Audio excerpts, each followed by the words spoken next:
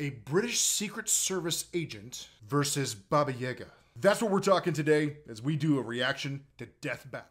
Welcome, agents of Spectre. Pay close attention today as Mr. Wick gives a lesson on how to be an assassin. Patient, silent, deadly. On today's Bond Report.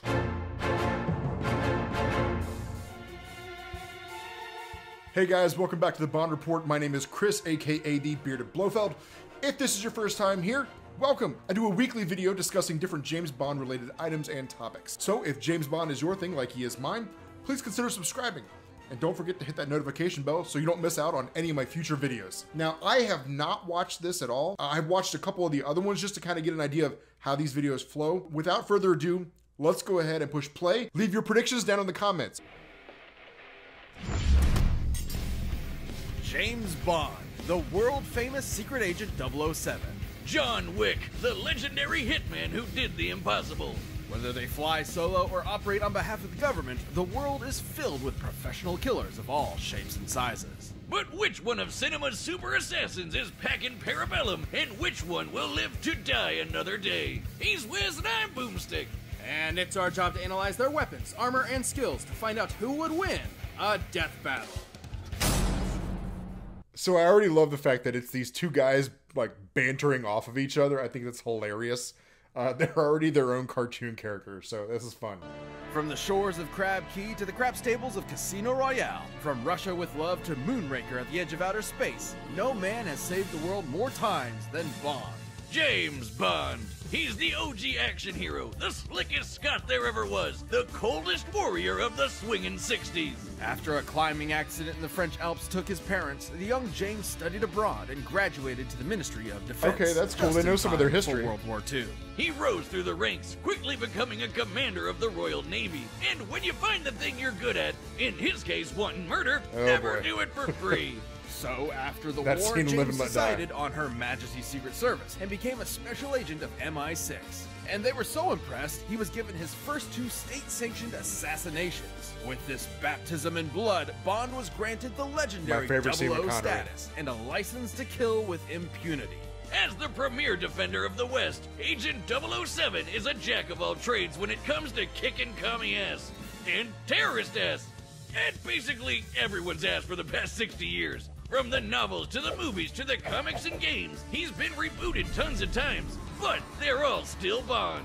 Bond is a master of infiltration, disguise, acrobatics, driving, diving, Oh, skiing, Octopussy. boating, climbing, horseback riding, airplane pilot, swordsman, knife fighter, knife thrower, people thrower. And deadliest of all, People gamer. thrower. Bond carries his classic Walther PPK, among the world's first successful double-action semi-automatic pistols. While it only carries nine rounds, its small size makes it optimal for concealment. And a microdermal sensor in the grip. Mm. That's not accurate. Bond's fingerprint means only he can fire it. It even comes with unique ammo that breaks apart PPK upon is entry six plus and creates eight exit wounds, traveling like a bullet but hitting like a shotgun. Especially deadly considering Bond has the golden eye of an expert marksman, able to take out a room of armed guards in a single second, or shoot the fuel tank of a helicopter from a speeding boat a quarter of a mile away. He's just as deadly disarmed. Bond combines multiple martial arts like judo, boxing, Krav Maga, Muay Thai, and Jiu-Jitsu, allowing him to keep up even when outnumbered.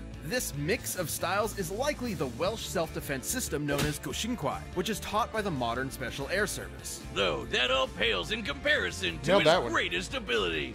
F***ing, banging, laying down pipe. He's so proficient at seduction, it actually feels more like a superpower. Look, we're not kidding. He once seduced a female assassin sent to kill him so thoroughly, she threw herself in front of the bullet meant for him. She knew him for less than two minutes. Yeah, sometimes Bond does stuff I can only describe as superhero shit.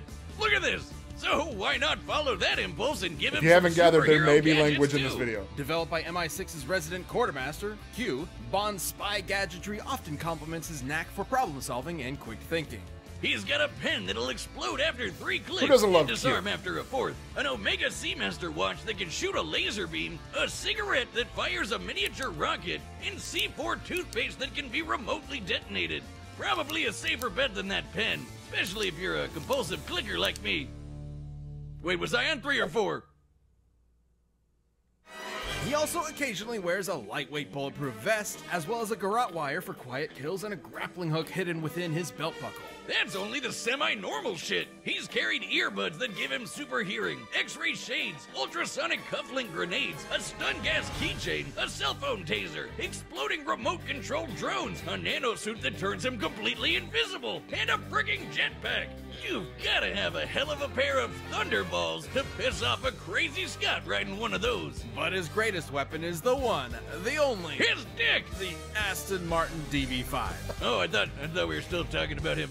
Never mind. This absolute beauty isn't just good looks. She's packing front-mounted machine guns, oil slicks, smoke screens, and of course, the ejector seat. Oh, and good luck trying to break in. This baby is insanely bulletproof. Like, Yeah. just look at this. It won't stop. Still going. Still going.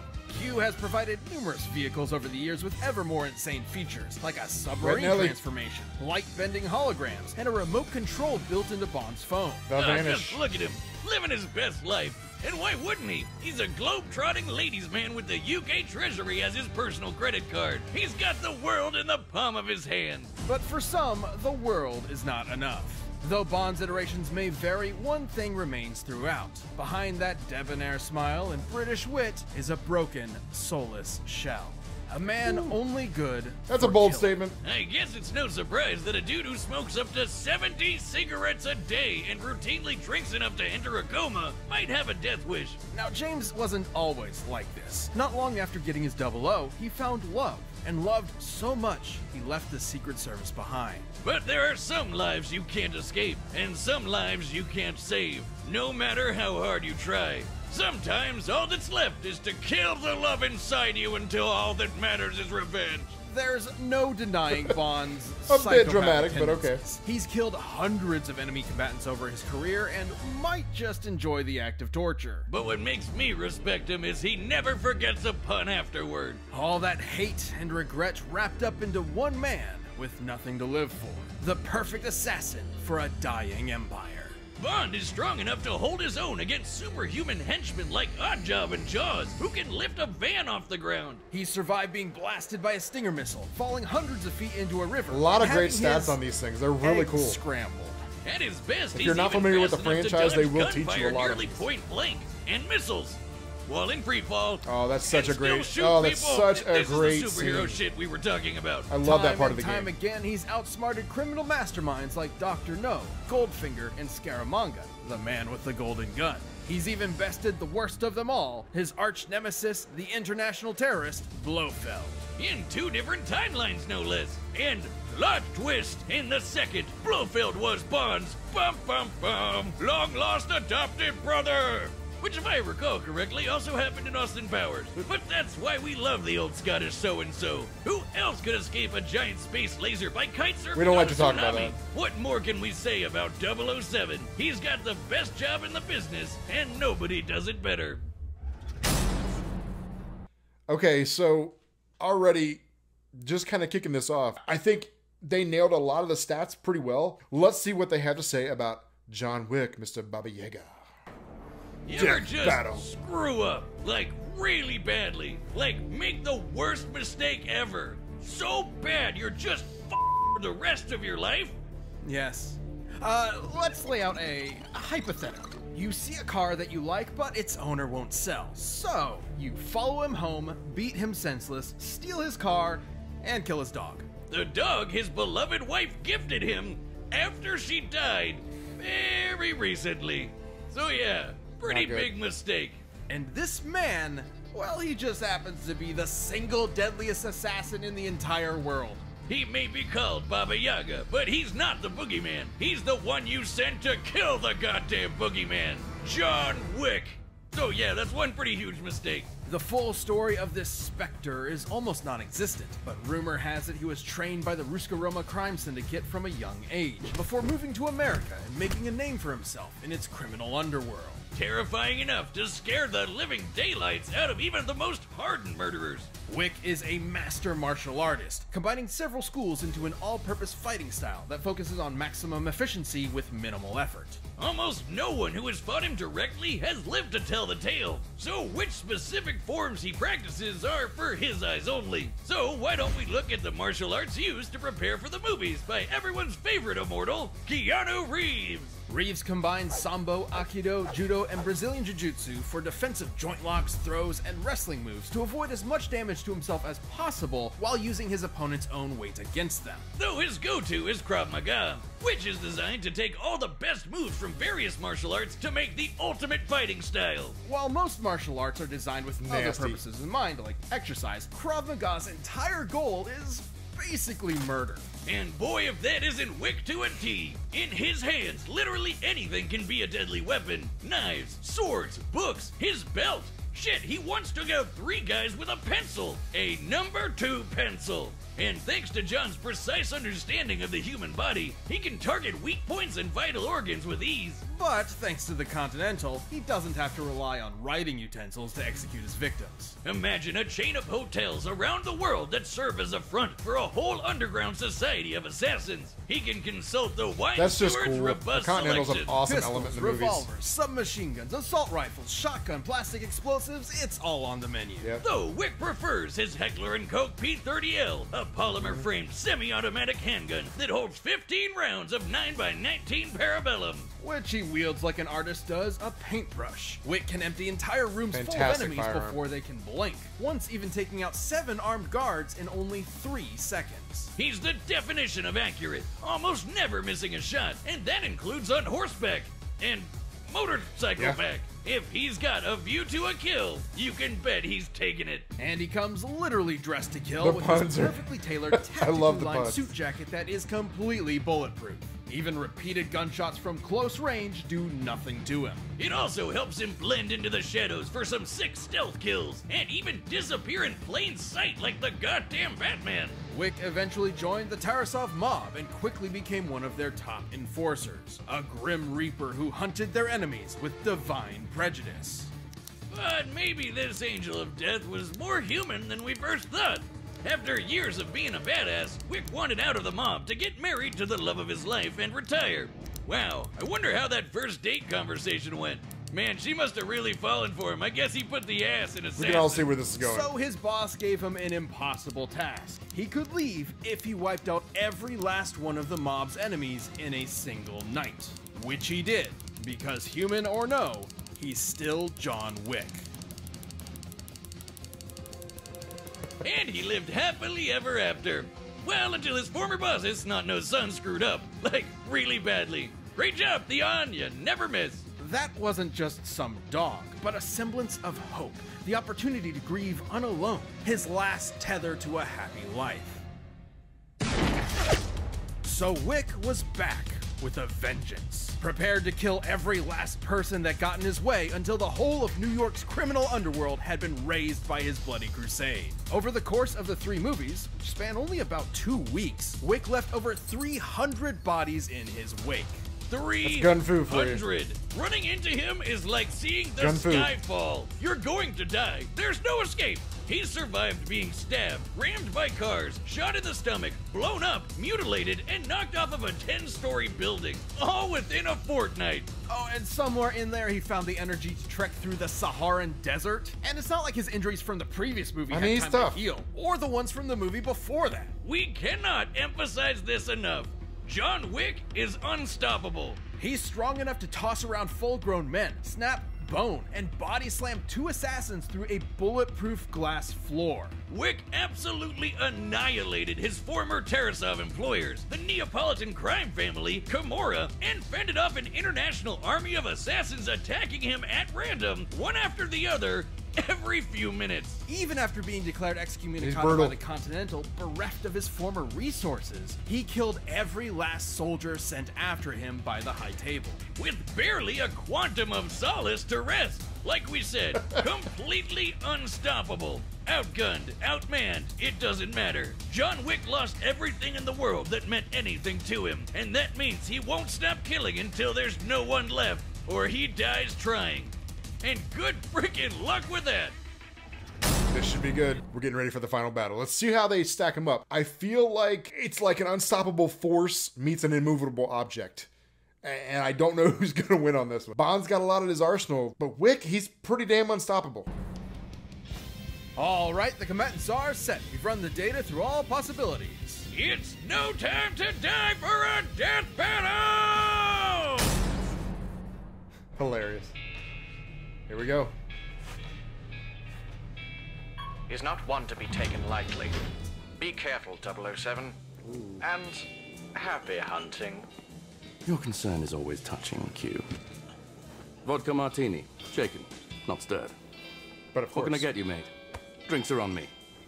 I prefer to be alone. Unfortunately, I wasn't asking, Baba Yaga. Now you can come with me, or we can do this here. Killing isn't permitted on company grounds. Lucky me.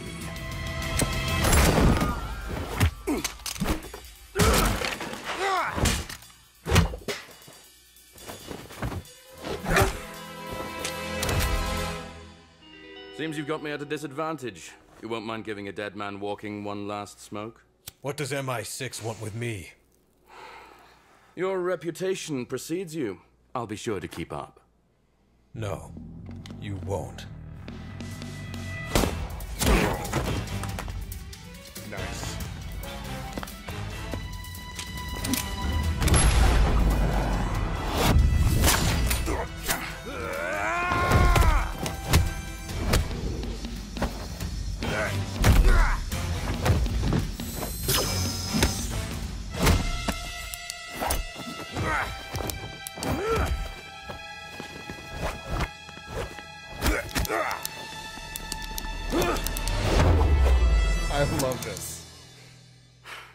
To be entirely honest, I lost count.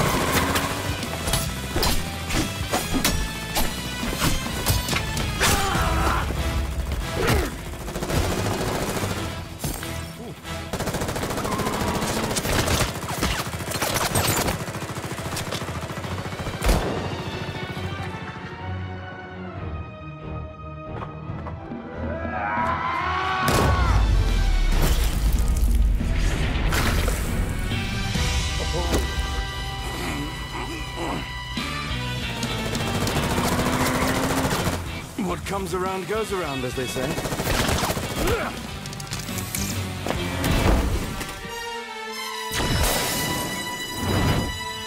Yeah. Oh! I think. Did we get it? Bond! Come in. What's the mission status? Smashing. Positively smashing. Oh, do grow up, 007. I have cold chills. I We never got thought it. Wick could lose, but I guess I'll never say never again. Though his skills and brutal tenacity would have saved Wick initially, against James Bond, you only live twice. Oh, that's so much mean fun. once, right? I know what I said. Uh-huh. Well, despite all that, Wick met his match in Agent 007. And match is the optimal word here. Wick may have been an expert martial artist, but Bond has actually practiced several of the same styles Wick has, and has been shown to be just as skilled a fighter, even defeating master martial artist himself. Wick's ability to shatter a floor of bulletproof glass definitely makes him superhumanly strong, but Bond has fought off similarly powerful henchmen in the past. And Touche. while Wick's speed and accuracy with the gun may look unbeatable, Bond's is just as impressive. He's landed accurate shots just as well as Wick ever has, but more importantly, he has a faster quick draw. That's right, despite being played by Neo himself, Wick has never dodged bullets. Bond, on the other hand, has. And that superior speed gave him an edge in both close quarter combat and on the draw. Though since both had body armor, the fight probably wasn't going to be won by guns alone. And that's where Bond held his biggest advantage, his gadgets. There was no way Wick would see an exploding pen or a laser watch coming, and that's the whole point of Bond's gadgets. They're seemingly normal, everyday objects that'll take his enemy by surprise. Given time, Bond has always used these to come up with game winning strategies, even against numerically superior foes, especially with his more absurd technology like the invisible nanosuit and remote controlled explosive drones. Wick's endurance might be mind blowing, but he isn't invincible. He can keep fighting even on death's door, but the deadliness of Bond's trick weapons would not have given him that option. Diamonds are forever, but against someone just as skilled with an arsenal straight out of science fiction, Wick's luck definitely wasn't. Bond may have been the spy who loved me, but against Wick, he was going to live and let die. And you can bet tomorrow never dies. Nailed it. Look, I just had to fit the last few movies in, okay? Oh, wait, shit! I forgot about Octopussy! Uh, the winner is Bond. James Bond. Nice. It appears we have lost yet again. All right, guys, what did you think? Death battle, Bond versus Wick. They went at it head to head, toe to toe, gun to gun. Bond came out on top. That's what he does. I loved seeing how they mixed up the fighting styles. I love. I thought it was super slick. Him lighting the cigarette, using the cigarette bullet. These are fun. You're- they they do these on so many characters. If you haven't checked out the Deathmatch series, check them out on YouTube. They pair up some interesting characters too. But when I heard this was coming out, I knew I had to review it. We all knew Bond was going to come out on top. Come on, be honest. He's got the car, he's got the gadgets, he's got the fighting skills. As awesome as the Wick movies are, he's just no match, and he proved that here in this episode of Deathmatch. Guys, thanks so much for watching, and as always, Merry Christmas 007.